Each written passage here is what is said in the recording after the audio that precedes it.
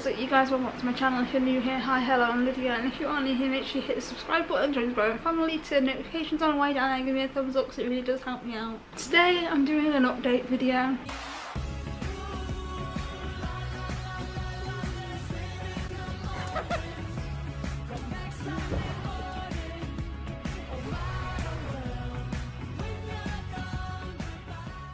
So, an update. I've been gone for about two weeks now and to put it simply, I've been going through a depressive episode, which means my mood has just been really low.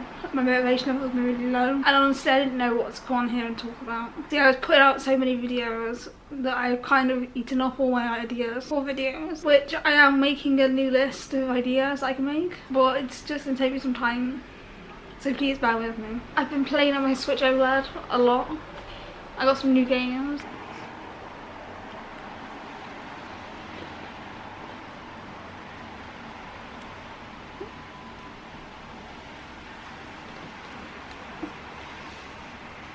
I've got a lot of games, but all in all, I've been doing okay. I haven't reacted to self-harm. I'm not suicidal. I'm not giving in to my eating disorder behaviours. I've just been doing little things here and there. I haven't done anything big. I had a diabetic appointment with a diabetic nurse, which went well. I'm just trying to cope. Last weekend I saw my mum and my two sisters. I just haven't known what to film, so I haven't been uploading. I want to do some videos based on autism because I it's a diagnosis that I have and it's something that impacts my daily life but I don't know what to film. So if you have any uh, ideas let me know in the comments down below. And just thank you for bearing with me while I've been gone. We did hit 6.2k which is amazing. Thank you. On to 6.3k and yeah that's all I've got for this video. Any video requests or ideas let me know in the comments down below because like I said I have kind of run out of ideas.